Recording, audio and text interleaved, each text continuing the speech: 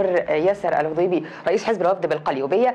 آه، دكتور الأحزاب المصرية يعني آه، حزب الوفد هو أحد أهم الأحزاب المصرية اللي بالفعل متواجدة وقد تكون في الشرق الأوسط بشكل عام. ولكن بما إن إحنا بنتكلم عن يعني مثلا لجنة آه، الدستورية والتشريعية مجلس النواب حابين نتكلم عن اللجان بداخل حزب الوفد. هل هناك مثلا لجنة تشريعية؟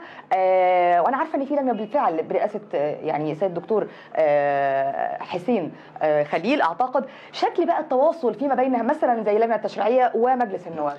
تمام. بداية بسم الله الرحمن الرحيم. برحب الأستاذ الفاضل المستشار محمد بمدينة النائب المحترم وحسين بيه عشماوي النائب المحترم. وبرحب بحضرتك وبقول إن المادة خمسة من الدستور المصري نصت على أن الحياة السياسية في مصر تقوم على تعدد الأحزاب والتداول السلمي للسلطة وهذا يجعل الدولة متحملة كافة النتائج ويجب على الدولة أن تدعم الأحزاب. اللي إحنا شايفينه النهاردة الدولة تتجاوز الأحزاب وتتعامل مع تكتلات وتتعامل مع جمعيات وهذا مخالف مخالفة صريحة للدستور. النتيجة بتاعت المخالفة دي هو تقويض الحياة السياسية في مصر. لأن لو شفنا أمريكا أو بريطانيا بلد الديمقراطية أو أي بلد في العالم هتلاقي فيها دايما الصراع السياسي والتداول السلمي للسلطة بيتم بين أحزاب وليس جمعيات. عندنا في حزب الوفد عندنا لجان نوعية لكل تخصصات الوزارات في مصر ولها مثيلاتها في مجلس النواب. يعني عندنا لجنة حقوق إنسان اللي أنا بترأسها زي لجنة حقوق الإنسان. عندنا اللجنة التشريعية اللي بيترأسها اللي حضرتك تفضلتي وقلت حسين بيه.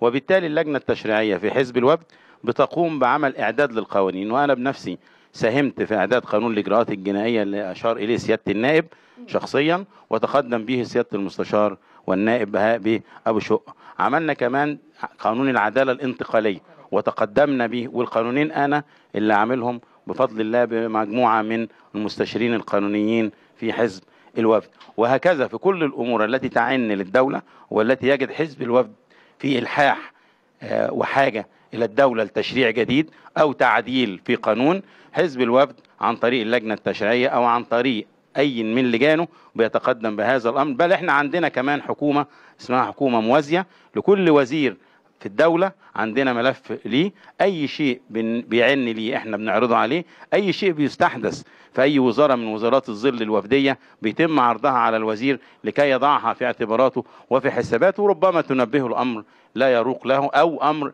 لا يأخذ باله منه. كل هذا في تنوع سياسي محترم كل هذا دعم للدولة المصرية اللي كلنا بنقف معاها بكل قوة وكل حدية. مفيش صراع ولا في نزاع. حتى لو حزب الوفد هيقيد إنه معارضة أو هيصنف إنه معارضة أنا بقول إن المعارضة جزء لا يتجزأ من النظام السياسي. المعارضة الموضوعية لها شرطين معارضة موضوعية وتكون وطنية. المعارضة هي التي تساعد الرئيس في اتخاذ الخطوات الجريئة. المعارضة هي التي تقول للسيد الرئيس خلي بالك في قدامنا هنا عمود خلي بالك في قدامنا حيطة على أساس يبقى زي السبوت كده بينور للرئيس الأخطاء إنه ياخد منها ويدي وياخد منها ويعالج.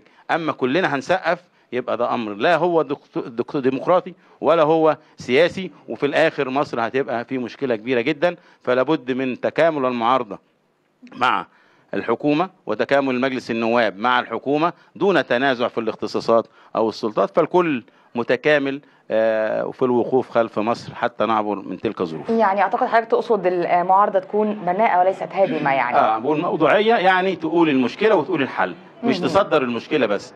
وتكون وطنية يعني ما يكونش ليها أجندة خارجية يكون بيأمر الأمر ده أو بيطلب الطلب ده استنادا إلى مصلحة وطنية حقيقية وليس أجندة خارجية. أجندة خارجية.